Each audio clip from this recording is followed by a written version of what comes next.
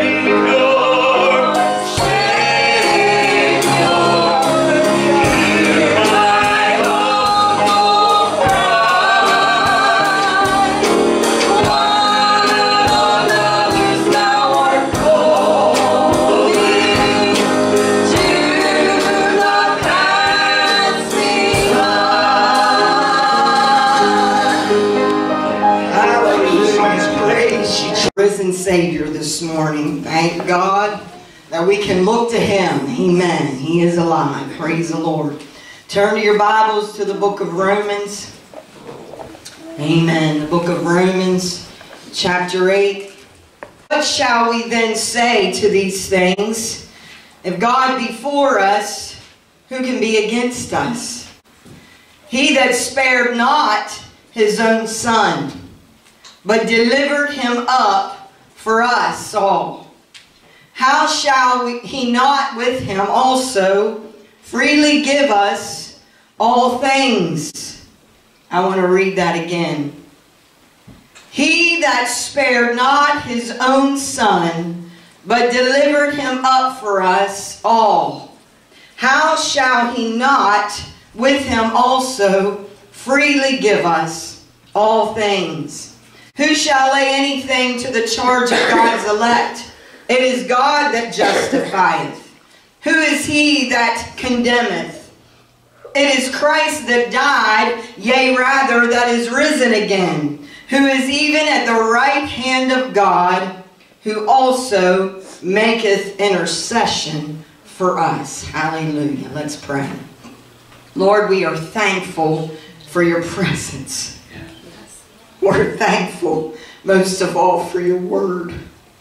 Lord, this is the time that we receive of your word. Hallelujah. Lord, we know, God, that you are here in our midst, Lord. Lord, you strengthen, Lord. You lift us up. You sustain us and you give us the victory, Lord. And we know, God, that if we have you on our side, nothing can stand against us, Lord. We have the victory through Christ Jesus our Lord. And Lord, we thank God of all that you have done. Lord, let our minds be on all that you have done. And Lord, we thank you, God, that even now you make intercession for us, Lord.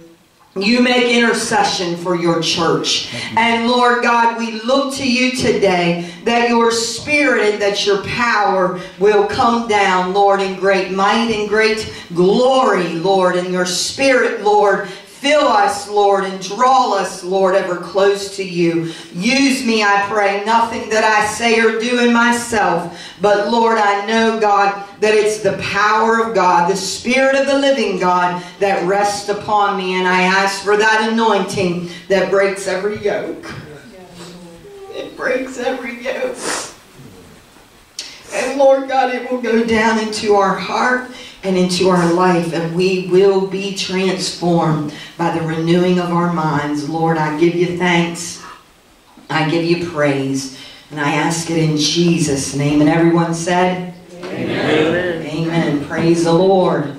We can never really grasp God's love for us today, the wonderful love of God. Hallelujah. The love of God, if you have received of His love, what a wonderful uh, testimony that you can share of the power of God and His love that has come down in our lives because God loves us. And we all know the famous scripture, hallelujah, for God so loved the world that He gave His only begotten Son, that whosoever should believeth in Him should not perish but have eternal life. Hallelujah. I want you to know God is in the saving business today. God is on your side. And as Paul declared it here in the book of Romans, he said in the scriptures, What shall we say then? If God be for us, who can be against us? Right.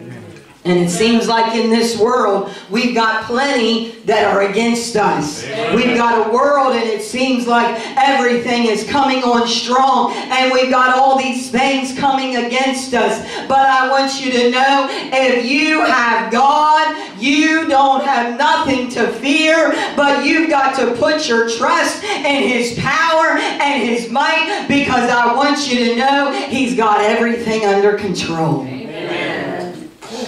Even in situations where, you know, our faith is on, you know, it's teeter tottering back and forth, you know. A lot of times our faith can be shaken. It can be turned upside down. But that's one thing. In those times, we have to know the God that we serve. We have to put our trust in Him and know that God is on our side. God is with us and He's pushing us along the way and He's encouraging us through His Word. I want you to know you better get out this old book and you better start reading it because it's the only thing that is going to see you through this old dark world. Reach out and receive from the Lord. I thank God for His mercies. His mercies, they are new every morning, and His compassion, they fail not. Right. They fail not. But I want you to know God has given us an opportunity. God has given us a chance. God is speaking to our hearts every day. He's speaking to our spirit and He's wanting us to draw closer to Him. He's wanting us to receive what He has for us. He has good things in store for His church. Even, yes, in the midst of trouble even in the midst of the storm. Yes, because we know this life down here, we know this world is full of it. If you are breathing, if you are alive, I want you to know trouble is on your is there. Trouble, you can't escape it. But there's one thing you've got to have. You've got to have God on your side. Yes. You've got to have his strength. And I am thankful, hallelujah, for all the love. When I think of the love of God, the love of God that He has, just what He has done in my life, I could never thank Him enough. The scripture says, to the praise, the glory of His grace, wherein He hath made us accepted and the beloved. He's called us in as one of His own. Hey, we were an outcast. We were nothing. We were we were dead in our sins. But praise God through Jesus Christ, He has called us saying, Hey, come to me, all ye that are weary and heavy laden, and I will give you rest. Why? Because his yoke is easy and his burden it's light. Oh, I want him to lift my burden. I want to have his spirit upon my life. I want him to come down and rest upon you. And I have seen, seen how God's spirit has rested upon you. His blessings with everything that Shannon has went through with this coming home, you know. Boy, I want you to know just the simple things you need to thank God for. Amen. Just the simple things of getting out of bed and brushing your teeth. I want you to know it's a blessing from God. Right. At first, he couldn't do it. And then finally, he was able to. He, I'm, I'm going to stand and brush my teeth. I'm sweating bullets. Lord. But God, God is a good God. Yes. But I want you to know just the little things. God is interested in your life. As it says in the scripture, it says, He that spared not his own son.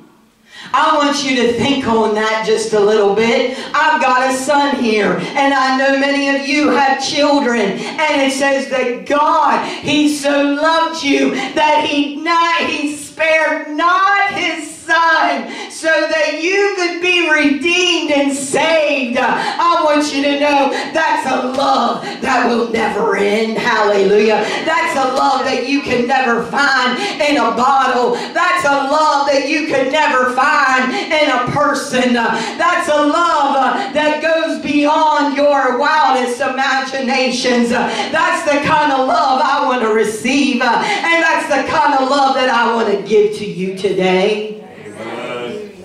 I want to give that to you.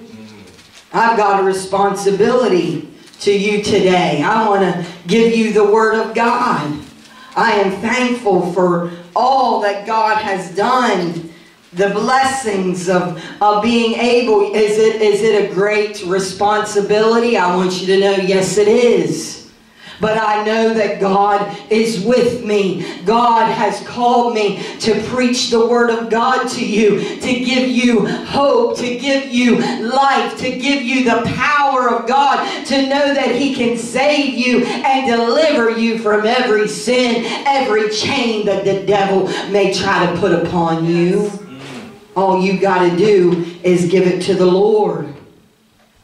I was reading there a couple chapters over in chapter 10 it says, How then shall they call on him in whom they have not believed? And how shall they believe in him of whom they have not heard? How shall they hear without a preacher?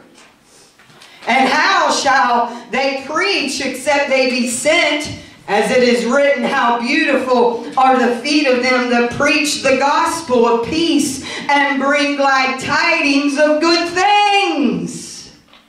Oh, thank God. One day, Jesus saw me as a young girl in this church house. I had a father that preached the Word of God, and he preached the Word of God not just behind this pulpit, but he preached it through his life every day. He lived it out at home, he lived it on the street, he lived it wherever he went. Thank God someone told me the truth. Hallelujah. Amen. Of everything. The power of the Holy Spirit when He convicts you of your sin, when He draws you.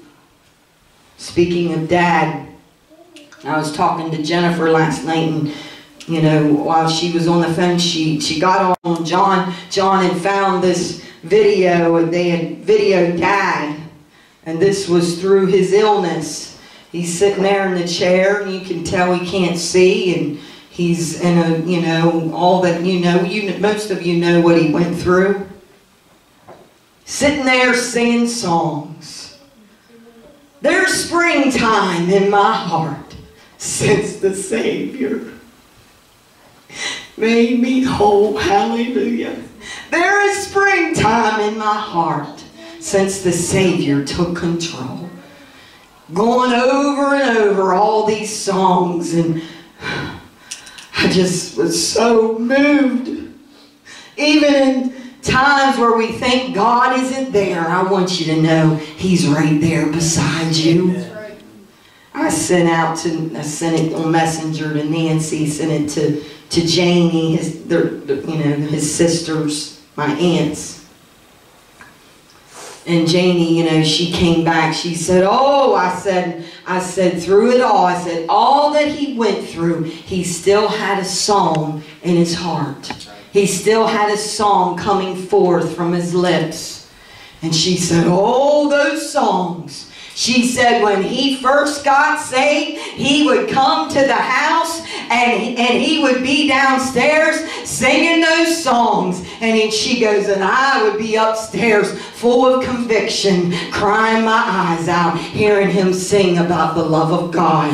And thank God, one day she heard the call and she didn't turn away, but she received of the love of Jesus Christ that not only saved my father, but it saved uh, his household. It saved his sisters and his mother, my grandmother, and brought them to Jesus Christ. Uh, and it trickled on down into the bloodline. And I'm believing that he gets a hold of you today.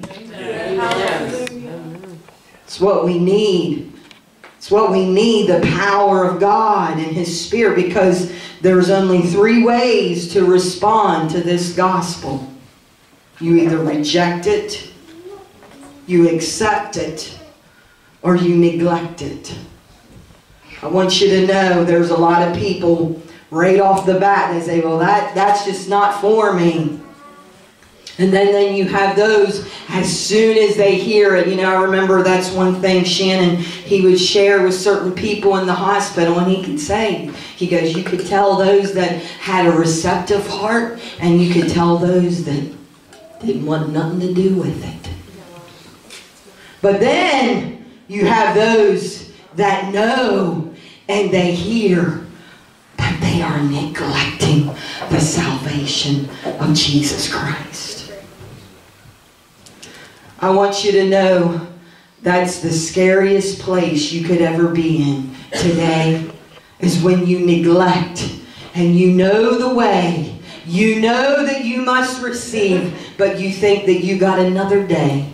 You think that you've got another time and that God will wait on you till you get things right. I want you to know you'll never come to the decision of Jesus Christ. It's when you give it all to Jesus. And when you give it all to Jesus, He will take control and He will cleanse you and He will save you and He will fill you with the power of His Spirit and He will deliver you from the bondage of sin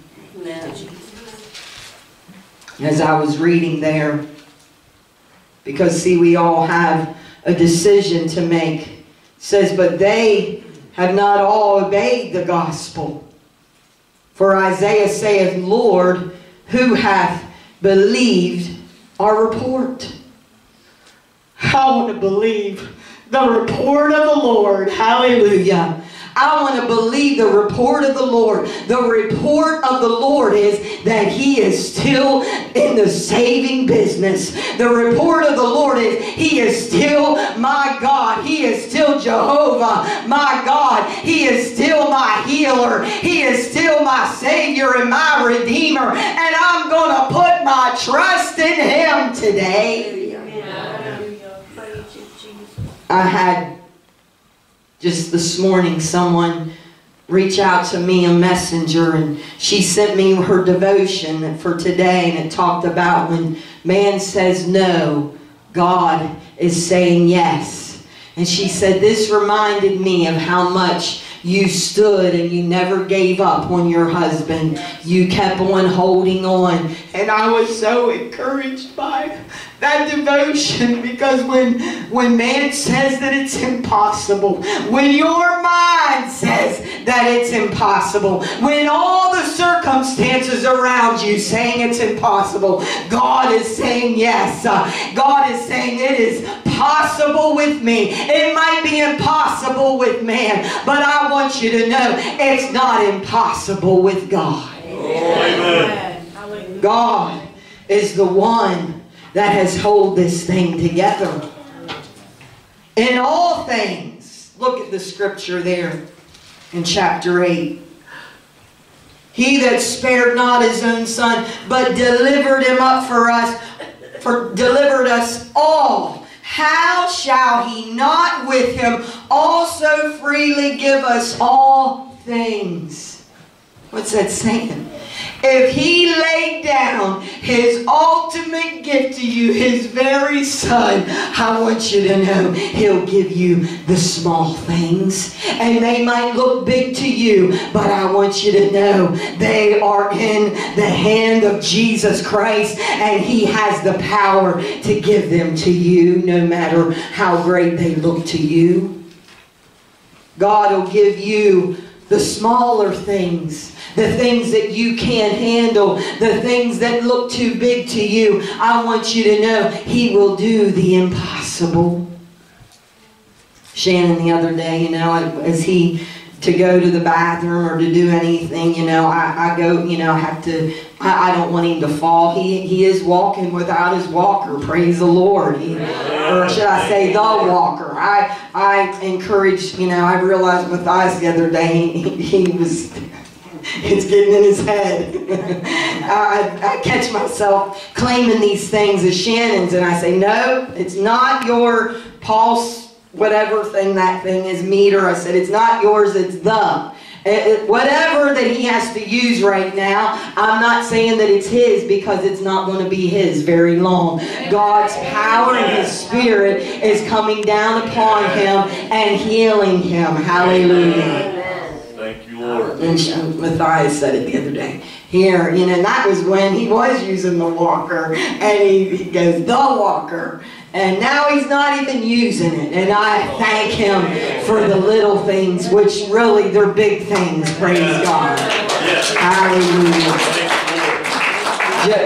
Just the other day, you know, he goes, oh, you know, he had to go to the bathroom and, and he's like, oh, I'm bothering you again. I'm like, oh God, I'm so glad you're going to the bathroom. That's right. I remember when he was in there on that dialysis machine praying that he would go to the bathroom. Yes. Hallelujah. And now he's not hooked up to no machine, praise God. I want you to know in the God that I serve, he is able to do it for you. Amen. He is able to do it for you. He will lift you up. Why? Because of the gift of God. I want you to nothing in me. Yes. There's nothing in me. Only thing in me that's good is God. The only good that's in you is God. That's right. Ephesians 2 8 says, For by grace are you saved through faith. That's not of yourselves, it's the gift of God. What a wonderful gift. What a wonderful God we serve. What a wonderful Lord that we can call on Him no matter the time or the day or the hour. We can put our trust in Him and know that He's right there. Yes. I don't want to reject Him. I don't want to turn away. I don't want to neglect so great a salvation. I want to receive it. I want you to receive it most of all. I was reading there in Acts, King Agrippa, Paul was sharing about Jesus, sharing the love of God, trying to get someone's attention. Isn't it something today? It's not an easy thing to get someone's attention. That's why I lean on the Lord because it's God that needs to get your attention. But Paul was sharing, it says there that Agrippa said unto Paul, he said, Almost thou persuadest me to be a Christian. Oh dear God, can you imagine the man thinking if he never got ever got right, he's in hell today, thinking of Paul reaching out to him, trying to get him and persuade him to Jesus Christ. I was just sharing with Kim and Kristen. I can't get through this life without him. I can't get up in the morning without him. I can't lay my head down without him. And I want you to know you think you can, you can't. You can't get through this life without him. You need God. And God is a God that loves you today. Says he spared not his own son, but he gave his son for you today. And not only gave his son on the cross, but it says, hallelujah. This shows you the victory that we have in Christ. It says that Jesus, he's seated at the right hand of the Father. And he makes intercession.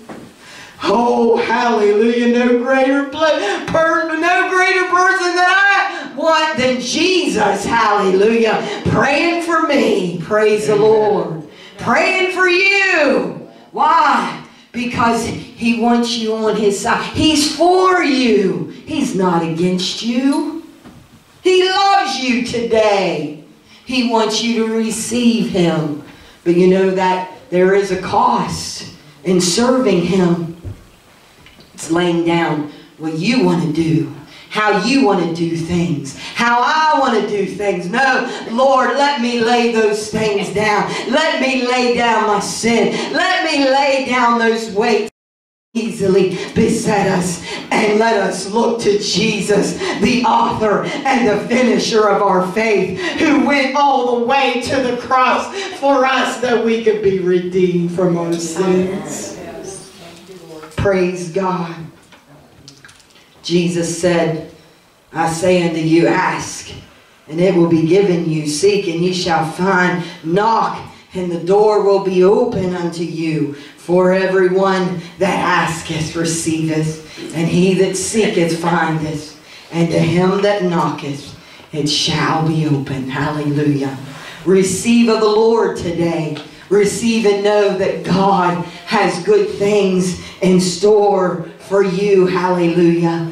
Be that one that doesn't reject Him, that doesn't neglect what you have heard today, but you'll be the one to accept it and live your life for Jesus Christ and know that if God be for you, nothing can be against you. Can you say amen? Amen. Amen. I've